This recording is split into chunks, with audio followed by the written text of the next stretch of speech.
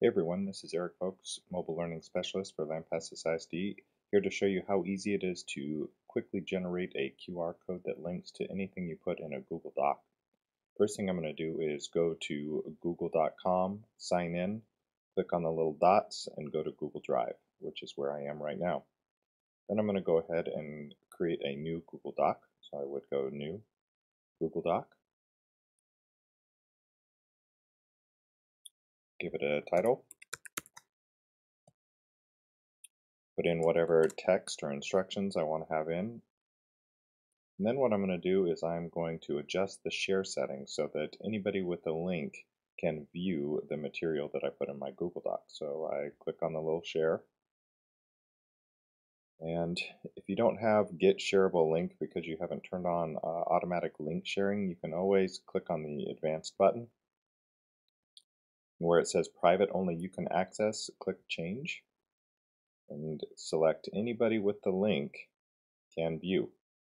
Now I'm just giving them uh, anybody with a link can view, um, just view only access, but if you wanted to give students the ability to edit or comment, you could do that as well, simply from that drop down. Alright, so I click on save, gives me a link to share, so I'm going to do control C to copy it. Um, you can try right-clicking on it to copy it as well. Sometimes Google lets you do that, and other times it wants you to use the keyboard shortcuts, Control or Command C. And now that I've got that link copied to my clipboard, all I need to do is go to a QR generator to create it. So I'm going to say done. I'm going to open up a new tab.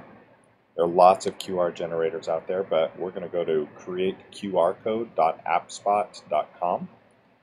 And then we're going to just click in that space and uh, right click and paste. If it doesn't give you the right click and paste, you can always do Control or Command V.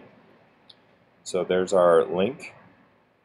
We can adjust the image size for our QR code to whatever we want. Default of 300 by 300 is nice and big. If you get it too small, it can create problems with them scanning. Um, so I wouldn't recommend going less than 150 by 150. So I just uh, click on Create QR Code and now we've got a QR code. So from there I can just right click on it and save the image as uh, or copy the image and paste it wherever I want it, whether it's my website, whatever the case may be. Um, save image as actually gives you a, a, downloaded version of your QR code, so you'll probably want to retitle it with whatever it links to, just for management purposes. Uh, and then you can do whatever you want with the QR code. Print it out, put it on your website, uh, whatever the case may be. Hope this was helpful. Uh, let anybody in curriculum know if you have any questions. Thanks for your time.